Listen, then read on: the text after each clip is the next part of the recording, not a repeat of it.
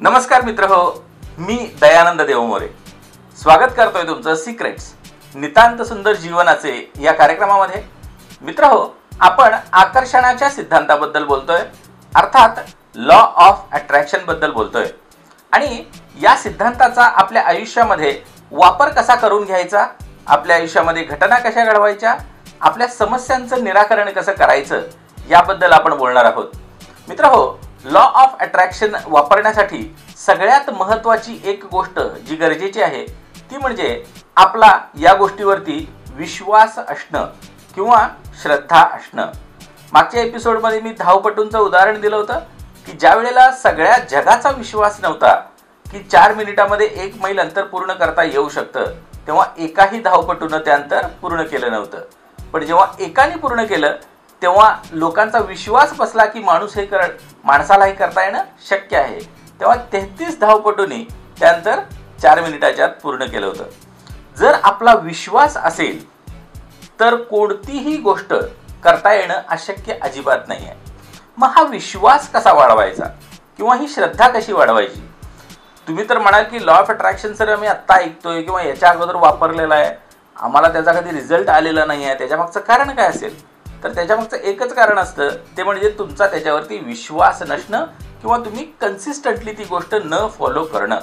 तर याच गोष्टीसाठी विश्वास वाढवण्यासाठी काय करता येईल? कारण त्याच्यासाठी कोणतंही औषध मिळत नाही विश्वास वाढवण्यासाठी.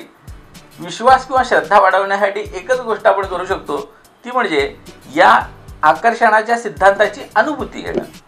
म्हणजे जर तुम्हाला एक दोन अनुभव ठराविक पद्धतीने हा नियम वापरून जर आले तर तुम्हाला हे पटायला लागेल की हा लॉ काम करतो. आणि ज्या वेळेला तुम्हाला हे पटायला लागेल त्यावेळी तुमची त्याच्यावरती श्रद्धा बसेल. आणि आयुष्यातल्या मोठमोठ्या गोष्टी पण तुम्ही त्याचा वापर करून आकर्षित करायला लागाल. म्हणून मी तुम्हाला नऊ टेक्निक्स अशा सांगणार आहे की ज्या टेक्निक्सचा वापर करून तुम्ही लॉ ऑफ अट्रॅक्शनवरती विश्वास स्वतःचा वाढवू शकता. पण गरज इतकीच आहे की तुम्ही डेडिकेटेडली त्या गोष्टी करणं गरजेचं आहे. मी तुम्हाला नऊ स्पेसिफिक मेथड्स सांगणार आहे की ज्या मेथड्स तुम्ही फॉलो करायचे आहेत. पण तत्पूर्वी आपल्या इच्छा आता नऊ मेथड्स करत असताना आपल्या इच्छा कशा असाव्यात याबद्दलचा हा व्हिडिओ आहे. तर आपल्या इच्छा कशा असाव्यात? सगळ्यात पहिल्यांदा आपल्या इच्छा या निसर्गाचा आदर करणाऱ्या असाव्यात.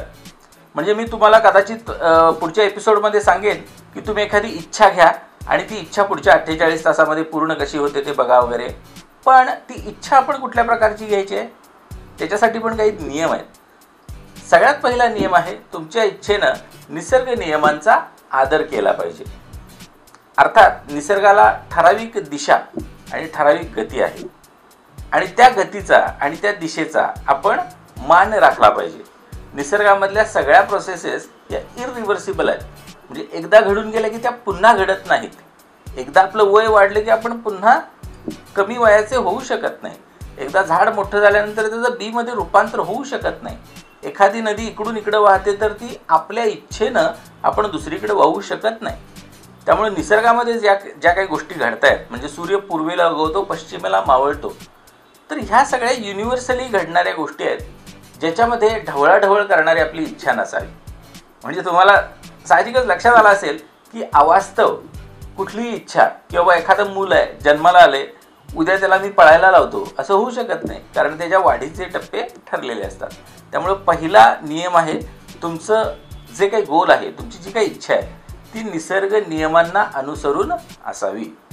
दुसरा नियम आहे तुमची इच्छा ही व्यवहारी दृष्टीनं फिजिबल असावी.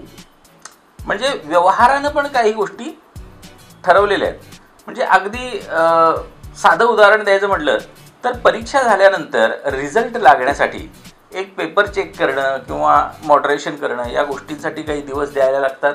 ॲटलिस्ट एक पंचेचाळीस दिवस किंवा थर्टी वर्किंग डेज म्हटलं जातं. द्यायला लागतात त्यानंतर रिझल्ट लागतो. तुम्ही तुमच्या तुम्ही म्हणालात की देवमोरे सरांनी आता शिकवलेलं आहे आणि मी इच्छा घेतो परीक्षा झाल्यानंतर दुसऱ्या दिवशी रिझल्ट लागावा. ते शक्य नाही आहे कारण व्यवहारिक दृष्टीने ते शक्य नाही आहे म्हणजे एखादी गाडी समजा उदाहरणादाखल मारुती. मारुतीचे काही व्हेरियंट्स आहेत किंवा ब्रँड्स आहेत. तर त्या मारुतीच्या त्या ब्रँड तुम्हाला जर गाडी घ्यायची असेल तर मारुतीची क्रेटा अशी गाडी तुम्ही घेऊ शकत नाही. कारण क्रेटा हा ब्रँड वेगळ्या गाडीचा आहे. मारुतीचे ब्रँड्स वेगवेगळे आहेत. म्हणजे व्यवहारी दृष्टीने पण तुम्ही या गोष्टींचा विचार करणं गरजेचं आहे.